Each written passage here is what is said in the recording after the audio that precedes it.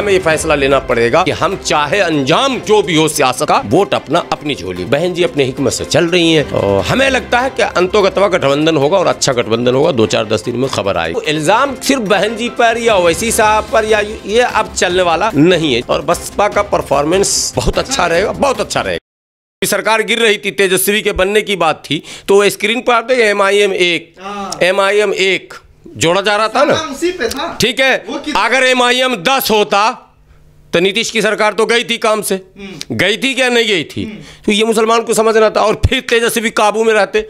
दस होता हमारा और दस दो तीन मंत्री होता और फिर रिंग मास्टर भी हम ही होते बेटा पटक देंगे जरा सा भी लोग ये ना करो ये ना करो ये करो ये करो किंग मेकर तो किंग मेकर ही बनाइए ना रास्ता अपने आप हो जाएगा। हम मुल्क में फिरका परस्ती का माहौल नहीं चाहते लेकिन हमें मजबूर किया जा रहा कि सियासत में हमें हाशिए पर डाला जा रहा।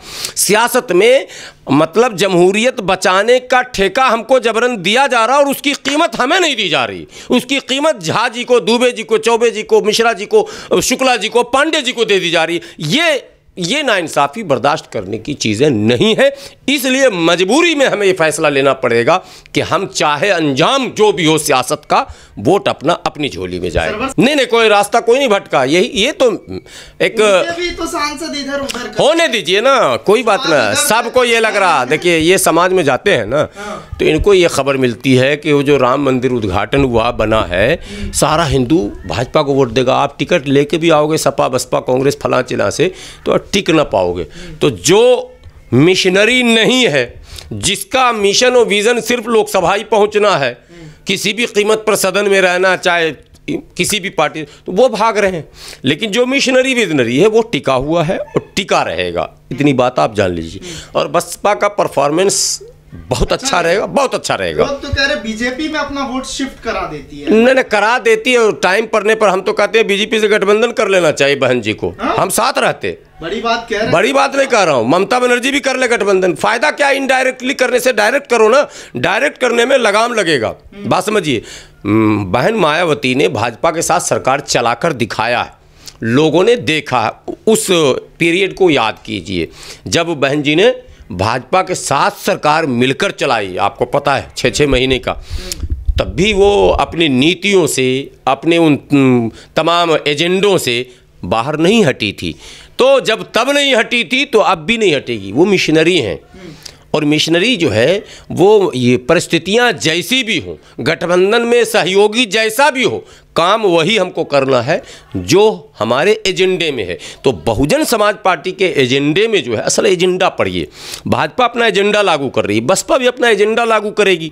गठबंधन किससे हो जाए, ये एक अलग मसला है। मैं कहता हूँ, फिर दोहरा रहा हूँ कि बहन जी अगर एनडीए में चली जाती, जैसे वो जयंत भाग के गए, और बहन जी एनडीए से जाके दस ही सीट अगर जीत के लाती तो भी एनडीए पर लगाम अगर कोई लगाने वाला माई का लाल धरती पर है तो वो बहन जी है। लगाम कौन लगाएगा? और किसी में दम नहीं है। जैन टिकेंगे।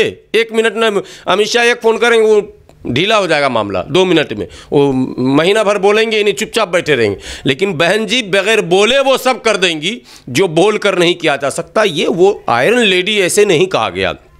आजमाया हुआ, शिफ्ट करना, ये करना, वो सब राजनीति में बहुत सारी चीज़ें चलती हैं, माफ़ है।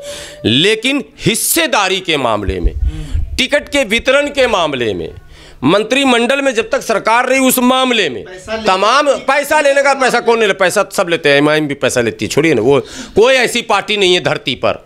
जो अपने उम्मीदवारों से पैसे नहीं लेती ये अब इल्ज़ाम नहीं रहा। बहुत सारी चीज़ें ऐसी हैं जो आम हो गया वो अब इल्ज़ाम नहीं रहा। डोनेट किया जा रहा हाँ। जैसे भी दिया जा रहा वो सब लेता है। अब ये अब ये मुद्दा बचा नहीं। मुद्दा तब तक रहता जब एक ले और दूसरा ना ले। कांग्रेस लेती भाजपा लेती। भाजपा के पास पूरे भारत का पैसा फिर भी ले रही है। अभी टिकट उसके 20 करोड़ चल रहे हैं रेट लोकसभा के। रेट खुलते हैं। तो वो बीस करोड़ ले रहा बसपा अगर एक करोड़ ले रही है एम में अगर पचास लाख ले लिया तो कौन गलत है? सब अपने अपने हैसियत के हिसाब से ले लिया बात खत्म। कोई पाँच लाख ले रहा कोई पाँच पचास लाख ले रहा। राज्यसभा की सीटें बेची जा रही हैं तमाम पार्टियाँ बेच रही हैं। तो अब इल्ज़ाम सिर्फ़ बहन जी पर या ओवैसी साहब पर या ये अब चलने वाला नहीं है। जो चीज़ें आम हो गई सियासत में लेन देन की, उसको आम रहने दीजिए। वो ख़ास अब वैसी पार्टी मुश्किल से ज़मीन पर खड़ी होगी कि वो चीज़ ना हो। चाहे डोनेशन के नाम पे आप लें, चाहे पदाधिकारियों के भाग दौड़ के नाम पर लें, भाई मसला ज़रूरत तो खैर है भी। चंदा नहीं लेंगे तो डायरेक्ट, इनडायरेक्ट लोग लेते हैं ताकि पार्टियाँ चुनाव में अपना भाग दौड़ कर सकें, पदाधिकारी इधर उधर जा सकें, हेलीकॉप्टर उड़ सकें। बहुत सारी बातें। तो कुल मिलाकर ये मुद्दा नहीं है कि वो पैसे, मुद्दा ये है कि अपनी अपनी नीतियों, पॉलिसियों पर अड़ने वाला पार्टी जो भी है, उन तमाम पार्टियों में बसपा पहले नंबर पर है, जो पॉलिसी से समझौता नहीं करती है। बाकी तमाम परिस्थितियों से समझौता करती हैं। बहन जी को अनुभव है उनको? कैस, कब कैसे कब चुप रहना है, कब बोलना है?